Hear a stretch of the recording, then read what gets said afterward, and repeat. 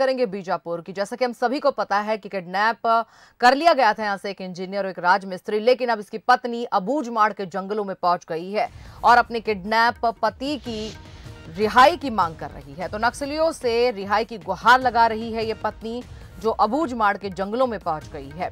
तो kidnap engineer की ये पत्नी है, जो जंगलों में गई है और नक्सलियों से पति की रिहाई की गुहार लगाई है। मासूम बच्चों का हवाला देकर ये पत्नी गुहार लगा रही है कि उसके पति को छोड़ दिया जाए।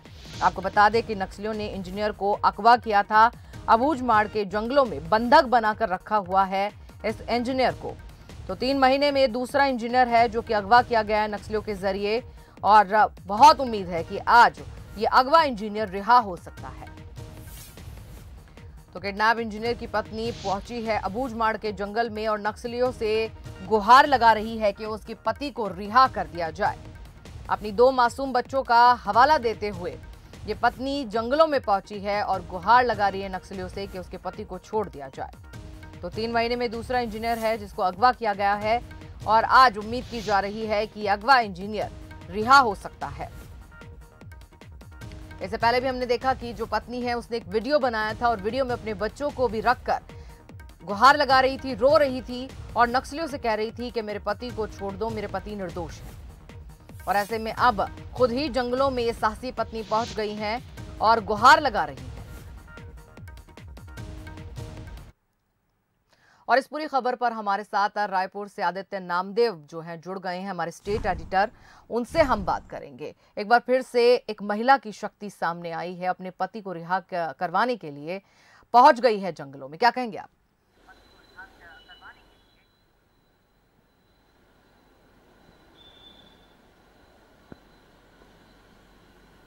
आदित्य जी, अगर आप सुन पा रहे हैं, हम आपसे दोबारा संपर्क करते हैं और यहाँ पर हम देख पा रहे हैं कि एक पत्नी की जो शक्ति है एक बार फिर से मिली है और नक्सलियों से सीधे संपर्क साधने के लिए अबूझमाड़ के जंगलों में पहुँच गई है किडनैप इंजीनियर की पत्नी और यहाँ पर अपने पति की रिहाई की गुहार लगा रही है।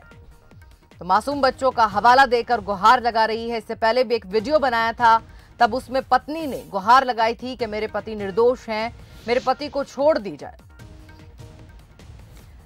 आदित्य जी हमारे साथ जुड़े हुए हैं। एक बार फिर से उनके पास चलते हैं और तमाम जानकारी लेते हैं। तो आदित्य जी, हमने देखा कि एक पत्नी की शक्ति एक बार फिर से देखने को मिली है कि सीधे जंगलों की तरफ़ रुख करते हुए सीधा सीधा जो है एक कांटेक्ट करना चाहती हैं नक्सलियों से और कहना चाहती हैं हाँ मेरे पति को छोड़ दें। क्या कुछ कहेंगे आप? देखिए, नक्सलियों की एक टैक्टिक्स रहती है। टैक्टिक्स ये कहती है साफ़ तौर पर कि किसी भी इंसान को आप अपहरण कर लीजिए, उससे शर्तें रखिए उसके सामने। देखिए, ये जो अशोक पवार है, जिसका किडनैप किया गया था इंद्रावती नदी के किनारे जो पुल बन रहा है, इसके पुल की देखिए, उपयोगिता समझिए। ये पुल वो पुल है जो आज़ादी के बाद इंद्रावती नदी के उस पार का एरिया आज भी जिला प्रशासन से नहीं जुड़ पाया इस पुल को बनने के बाद वहाँ के सैकड़ों गाँव जो है वो जिला प्रशासन से जुड़ जाएँगे, लेकिन नक्सली नहीं चाहते कि पुल तैयार हो।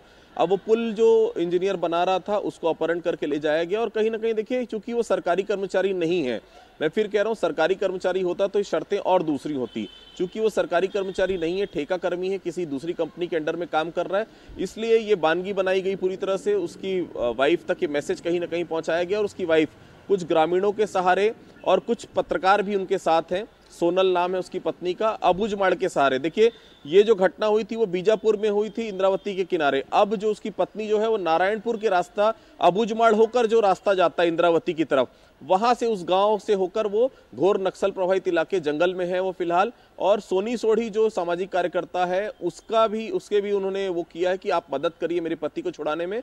कल भी उसने जो वीडियो जारी किया था, उसमें बेहद साफ़ उसने कर दिया था कि हम लोग यहाँ पर छोड़ के चले जाएँगे, दोबारा इस एरिया में कभी नहीं आएँगे और नक्सली यही चाहते हैं।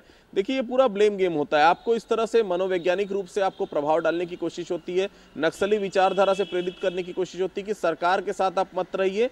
आप नक्सली जो बोल रहे हैं, वो बात आप मानिए तो आपकी जान बख्श दी जाएगी। कुल मिलाकर देखिए, आज जो चीज़ें नज़र आ रही है हो सकता है देर शाम तक या कल सुबह एक जन अदालत लगाई जाए और उस जन अदालत में उसको बिना कसूरवार न ठहराया जाए, उसको छोड़ दिया जाए वहाँ पर और फिर कुछ पत्रकारों के सारे, कुछ लोकल लोगों के सारे उसकी पत्नी को सुपुर्द कर दिया जाए।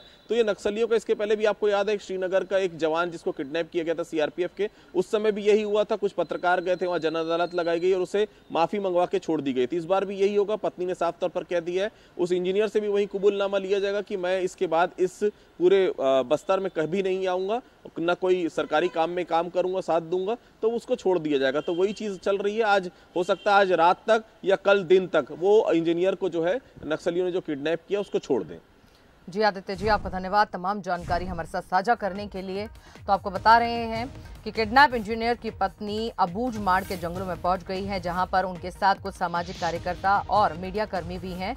और यहाँ पर वो डायरेक्ट जो है बात करना चाहती है, नक्सलियों के साथ, और कहना चाहती है कि पति को छोड़ दिया जाए। तो आपको बता दें कि कल एक वीडियो बनाकर अपील भी की थी और कहा था, अपने बच्चों का हवाला देके कि मेरे पति को छोड़ दिया जाए, हम यहाँ से चले जाएँगे, इसके बाद हम यहाँ पर नहीं रहेंगे। चलिए एक बार वो वीडियो भी देख लेते हैं। छोटे छोटे दो बच्चे हैं, छोड़ दीजिए। मेरे पति अभी पंद्रह बीस दिन हुए हैं, काम करने गए हैं वहाँ पर। गाँव वाले उठा के लेके गए हैं छोड़ दीजिए, मेरे दो छोटे छोटे बच्चे, एक बच्ची पढ़ रही है, एक बच्ची छोटी है, हम लोग कहाँ जाएँगे? उनके भरोसे तो यहाँ पर थे।